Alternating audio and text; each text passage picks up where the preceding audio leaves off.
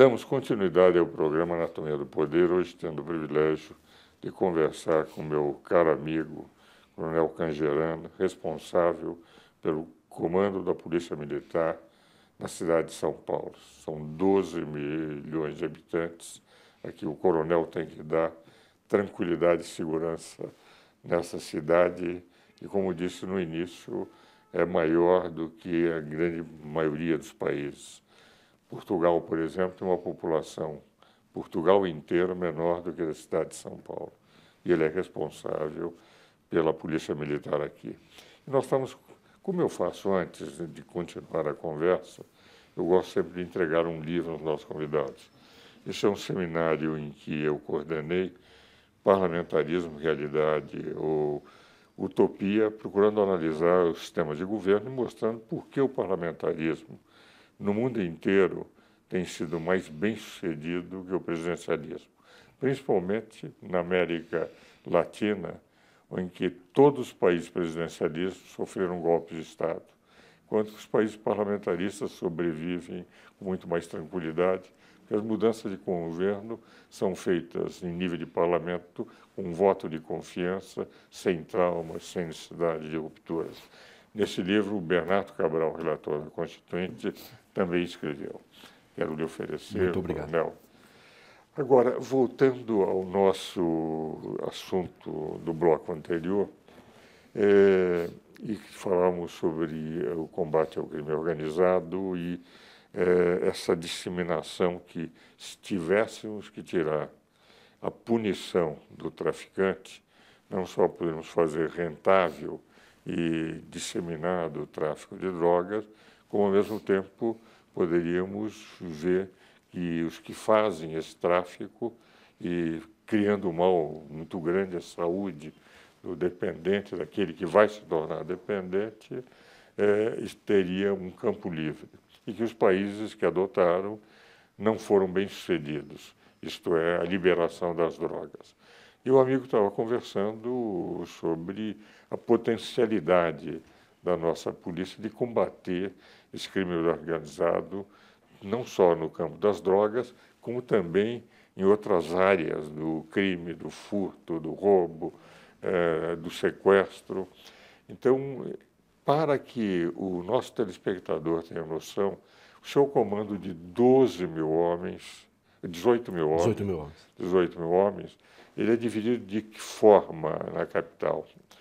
Para que se tenha noção de com a presença da Polícia Militar traz segurança. Ah, perfeito. Né? São, a gente tem oito comandos de áreas, né?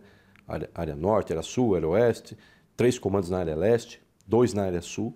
Né? Um comando representaria... São três, aproximadamente 3 mil homens, com três a quatro batalhões, né? cada batalhão com 700 homens. Uh, nós temos aqui na capital 32 batalhões, um batalhão de ações especiais e 31 batalhões territoriais que fazem o policiamento ostensivo. E esse de ações especiais, como é que seria? É um batalhão especializado para atuar em operações especializadas, né? Então, uh, a tomada de um espaço, uh, atuar numa operação uh, de busca, numa operação de abordagem, bloqueios, né? Um batalhão especializado. Uhum. Agora, o coronel, só para que se tenha noção, eh, os senhores, em nível de armamentos, os senhores estão atualizados nos armamentos para poder combater esse crime organizado, que não sei como, a toda hora aparece com armas de grande letalidade? É, perfeito. Em São Paulo, uh, a gente aprendeu ano passado, no estado todo, pouco mais de 9 mil armas. Uh, mas não tivemos grandes apreensões aqui de armamento de guerra, armamento pesado, como acontece no Rio de Janeiro. Então, nesse aspecto de armamento, São Paulo uh, não está tão ruim. É evidente alguns tipos de crime, notadamente rouba carro forte, rouba banco, explosão de caixa eletrônico. Uh, a gente tem observado o uso de fuzil, o uso de explosivo Inclusive, são armas que a gente verifica sendo usadas em vários pontos do Brasil, a mesma arma. Né? Uh, isso requer que você tenha condições de atuar, você tem que ter um armamento especial e o próprio batalhão de ações especiais ele é preparado para isso. Né? Uh, mas nós temos também aqui o Comando do Policiamento de Choque na capital, também atua na capital, uh, que ele tem também homens especializados para nos apoiar. Né? Então, em matéria de armamento, nós temos plenas condições de fazer frente ao volume que nós temos aqui. Né? Uh, e o, nesse embate, né? nesse embate, aqui em São Paulo, nós temos mantido a ordem de forma satisfatória, de forma vitoriosa. Nós, nós olhando os índices criminais, olhando uh, os resultados das operações, são 83 pessoas presas em flagrante por dia, principalmente por roubo e tráfico. E olhando o resultado final, que são os índices, estão em queda, todos os índices estão em queda. O próprio roubo de celular, que se fala muito, né, ele está em queda. Uh, o, o furto e o roubo está em queda, furto e roubo de veículo está em queda. Então nós temos índices, todos os índices aqui na capital São Paulo diminuindo. Homicídio é a cidade mais segura do Brasil, setor de homicídio.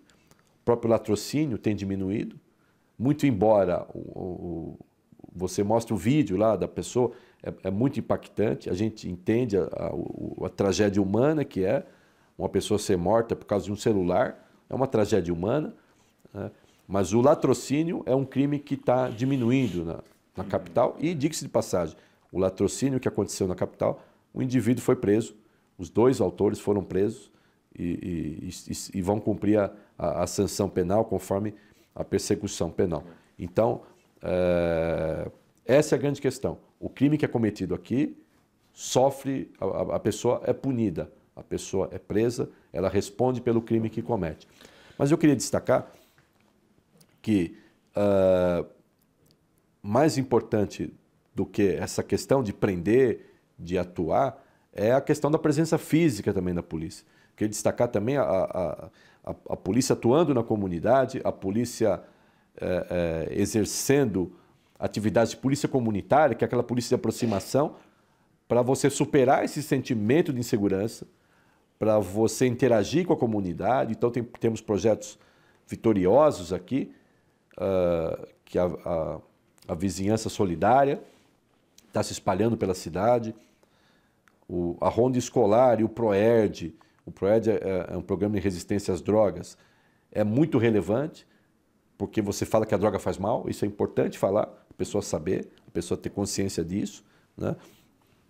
Então, essas ações preventivas, essas ações comunitárias, também têm muita relevância com isso. Isso para nós é, é, é muito importante destacar.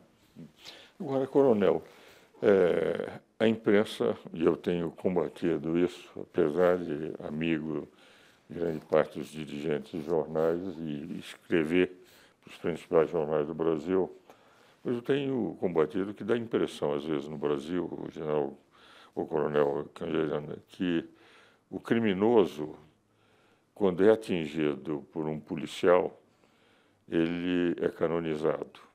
E um policial, quando é morto por um criminoso, sai uma notícia muito pequena nos jornais. Quantos militares foram mortos aqui de São Paulo em combate ultimamente?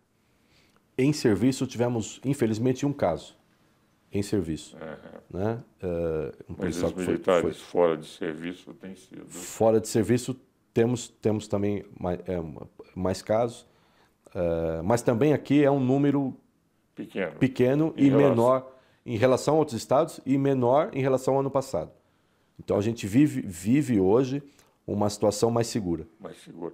Agora, no Rio de Janeiro tem sido enorme o número de militares que são mortos lá é, em combate. Perfeito. Ah. Tem inclusive a ver onde as pessoas residem. Né? É. É, é Esse é um perigo também, é. não é? Perfeito. Ah. Mas quer dizer, aqui em São Paulo houve queda nisso também. Houve queda nisso também. Ah, que bom, que bom.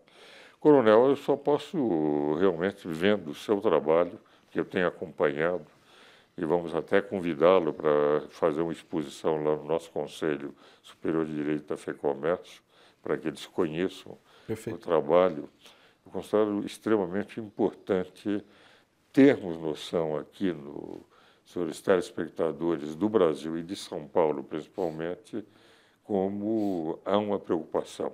Hoje nós temos na, na Polícia Militar, entre Polícia Militar e Bombeiros, quase 100 mil é, soldados, né? quanto Sim. é que seria aproximadamente. Perfeito. Enquanto que todo o exército brasileiro, nós estamos em torno de 220 mil. Os senhores veem a importância da Polícia Militar. Temos praticamente 40% de todo o exército brasileiro é, como contingente da Polícia Militar em São Paulo. Coronel Cangerano, é uma grande alegria tê-lo recebido no meu programa, foi uma honra tê-lo aqui no nosso programa e espero que vamos ter outras vezes em outros lugares para continuarmos falando sobre o bom papel da Polícia Militar de São Paulo no estado de São Paulo. Muito obrigado. Muito obrigado, eu que agradeço. Pois não. Espero-os novamente, senhores telespectadores, no próximo domingo.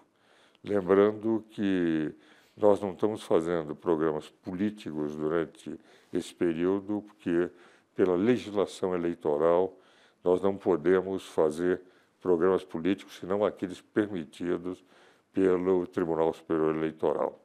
Mas estamos vendo diversos outros aspectos da cidadania, como hoje conseguimos dar uma perspectiva do bom trabalho da Polícia Militar para os habitantes do estado de São Paulo, através da palavra, da palavra do Coronel Cangerano. Muito obrigado e até o próximo domingo.